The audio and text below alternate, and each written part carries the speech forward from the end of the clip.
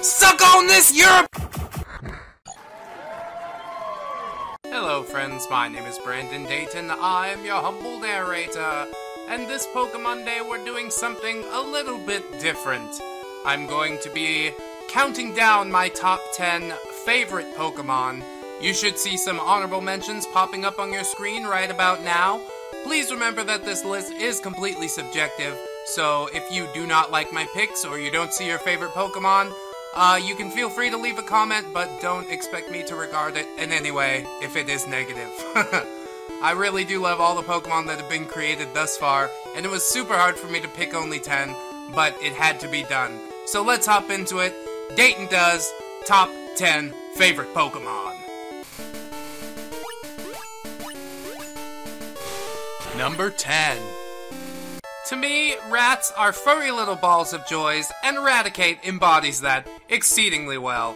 He has tons of tricks up his sleeve, from Sucker Punch, U-Turn, Swords Dance, Flame Wheel. Raticate may seem outclassed by other Guts users who are a bit more bulky or quicker, but I find Raticate to be a relatively early threat in every single game that I come across it. Even Joey uses one because he knows they are in the top percentage of awesome Pokemon. Raticate's Pokedex entry states that it can chew through concrete walls. Now that is a badass pair of bicuspids. Some might find them a little creepy, but I think they are one of the most adorable things I've stumbled upon in a very long while. I love you, Raticate. Number 9. Have you ever had trouble deciding between whether to get a dog or a tiger? Well, Arcanine just might be the Pokemon for you. This fire-breathing dog is majestic, powerful, glorious in every way possible. It'll even keep you warm at night. Arcanine is the only semi-legendary on this list, and it does hold a special place in my heart. Way back when I started on Red, I was disappointed with my choice of a Squirtle, and a friend of mine offered me a Growlithe in exchange. Obviously, this wasn't a great trade for me, but it turned out to be just fine because Growlithe turned into one of the greatest bros that I have ever known. Once we got to Celadon City, I gave him a Firestone, probably a little too early since he never learned Fire Blast, but definitely Arcanine held his spot on the team all the way through the Elite Four. So props to you, Arcanine. You're definitely deserving of a top 10 spot.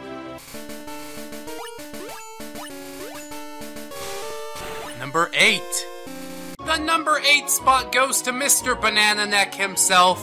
That's right, Tropius. This Pokemon's design is extremely interesting to me, from the giant banana leaves on its back that it uses to fly, from the tiny little grin that it constantly has, and I absolutely love. Tropius is a Pokemon that you'd be hard-pressed not to completely enjoy.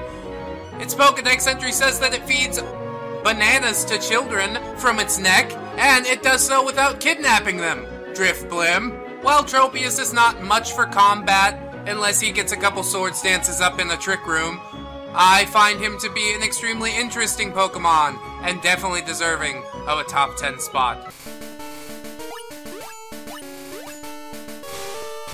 Number 7. Pig, Monkey, Pokemon. That's right, Primeape is the number 7 spot. I absolutely love this angry little ball of fluff. Look at him! He's ready to kick some ass and take some names, and he'll even look like a cute little powder puff doing it. Don't call him that to his face, because he'll get angry and chase you down to your death. Primeape is even pretty viable in combat if you give him a choice scarf as a scout, or a choice band, he can break down some walls. Definitely do not underestimate this little pig monkey. I do love Primeape, he loves me back, although in real life he probably looks a bit more like this.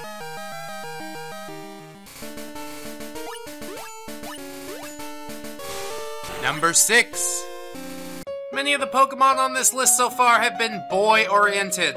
Milotic is not such a Pokemon. It was owned by the champion Cynthia, and uh, I definitely wanted to get one for myself, so in Generation 3 I spent many, many hours looking for a Feebas, and on top of that, many, many more hours leveling up said Feebas's beauty in order to get it to evolve into a Milotic. But Milotic is a fantastic wall. It has a mischievous little grin and a gorgeous long tail. There is nothing not to like about this Pokemon. even if it looks a little bit evil, uh, that's also one of the things that I like. Graceful and evil and lovely. And hell, if it's good enough for Cynthia, then it's good enough for me. Number 5. Exactly how many generations have we been waiting for a panda Pokemon? Well, I'll say this. The wait was definitely worth it.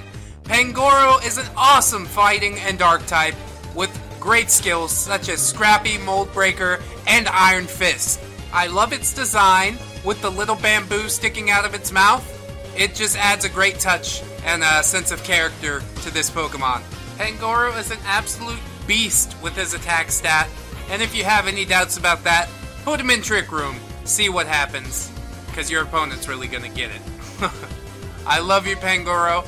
Definitely a good way to enter the top 5 slots. Number 4. Oh, fucking America! Number 4 slot goes to goddamn Braviary. Because he is the goddamn jihad fightingest, barbecue eatingest, greatest Pokemonist, suck on this Europist, the fucking Braviary, goddamn!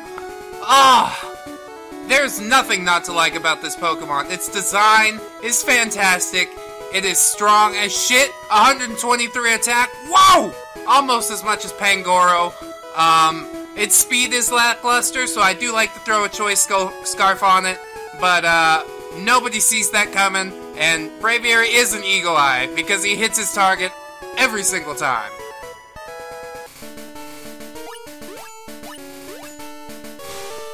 Number 3.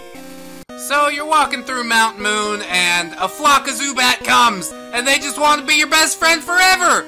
So maybe you take one home, grow it up into a Golbat, and eventually it does become your best friend and loves you forever. And you end up with a fantastic, horrifying, speedy Crobat.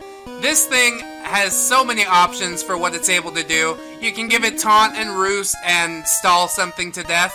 Or you can go all out with the Brave Bird and uh, Double Edge Cross Poison. Lots of lots of uh, dangerous attacks for Crobat to learn, and he's definitely a big, big threat with Infiltrator.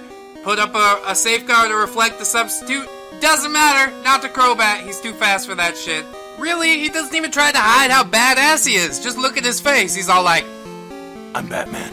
Definitely one of my favorite Pokemon. Definitely deserving of the number 3 spot. Number 2. I will not hesitate to say that Kangaskhan is one of my favorite Pokemon of all time. The parent Pokemon, always defensive of her young, but also ready for a fight if ever it should find her. The breeding aspect of Pokemon is something that has been increasingly expanded upon in further generations, and I like to think that Kangaskhan was the inspiration for most of that, since it is the first Pokemon with a baby. I spent so many hours in the Safari Zone trying to find a Kangaskhan, but I did end up taking it with me through the Elite Four for the first time. So Kangaskhan definitely holds one of the most special places in my heart. And number one. Even before I was aware of the rumors about Cubone being a Kangaskhan baby, I was absolutely head over heels in love with Cubone. From the first time I saw it in the Lavender Tower, I knew I had to have one and rescue it from the fate of its poor mother. After much hunting in the rock tunnel, I did eventually find a Cubone of my very own. I leveled it up and leveled it up some more. Almost 70 levels of pressing B later, I had a level 100 Cubone. It was a glorious thing, taking a level 100 Cubone up against Lance and seeing it waste his Dragonite. I absolutely love Cubone for a variety of reasons. His design is wonderful, his color is great, and ground types are just fantastic. Sometimes we all feel alone, sometimes maybe we all feel like a Cubone. But as long as I have Cubone by my side, I know that I'm never really alone. So this has been my top 10 favorite Pokemon. I do thank you so much for watching. I've been Brandon Dayton your humble narrator. If you would like to see more content like this in the future, please remember to like, comment, and or subscribe, and I will see you guys in the next one. Until then, friends. Bye bye! One, two, three, four. Goodbye, goodbye, see you again. Goodbye, goodbye, see you, my friends.